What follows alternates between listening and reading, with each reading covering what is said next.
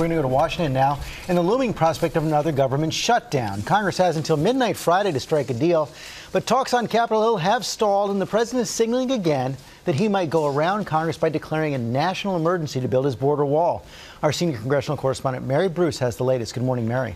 Good morning, George. Well, negotiators had hoped to unveil a compromise deal today, but instead this morning, once again, talks are at an impasse. In fact, I'm told the two sides are actually further apart this morning than they were last week. And the big sticking point isn't just the wall. Democrats are now demanding to limit the number of beds at detention centers. They're hoping to force the White House to focus on detaining undocumented immigrants with criminal records instead of otherwise law abiding immigrants. The president, though, says the Democrats are acting irrationally, and the top Republican negotiator in the Senate is now putting the odds of a deal at just 50 50. So, what comes next? Well, if they cannot agree to a deal here and soon, the president essentially has three options. One, he can agree to another short term fix. Two, he can declare that national emergency and try and go around Congress. But, George, even many Republicans are warning against that move.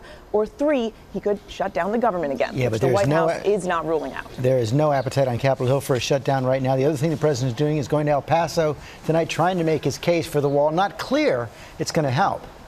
Yeah, the president will be down in the border city of El Paso outlining his case for the wall. George, he's been using that city as an example of his exaggerated claim that, that the wall would dramatically reduce crime. And just while the president is speaking in El Paso, one of his potential 2020 rivals will also be speaking out in the city. Former Texas Congressman Beto O'Rourke will be rallying his supporters and making his case against the president's wall. Okay, Mary, thanks very much.